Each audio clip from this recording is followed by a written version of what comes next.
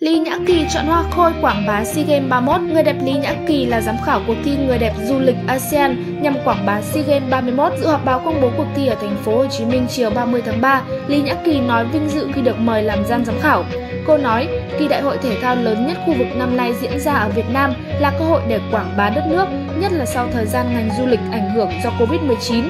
Tôi mong tìm ra người đẹp có tố chất để làm đại sứ, quảng bá sự kiện đất nước con người Việt Nam trên thế giới. Từng là đại sứ du lịch Việt Nam nhiệm kỳ 2011-2012, Lý Nhã Kỳ hiểu rõ trách nhiệm của người làm công việc quảng bá.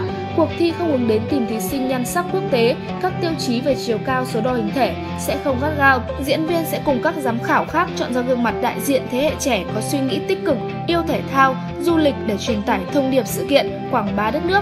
Ngoài Lý Nhã Kỳ, cuộc thi còn có 3 giám khảo khác gồm Hoa hậu Jennifer Phạm, Miss Indonesia, Priscilla Carla Euler, thí sinh thi Miss World 2021 và đạt danh hiệu Hoa hậu châu Á, ca sĩ Ngọc Sơn. Do bận việc, các nghệ sĩ này không thể dự họp báo. Qua video gửi ban tổ chức, họ nói sẽ làm việc công tâm để tìm ra cô gái xứng đáng với danh hiệu.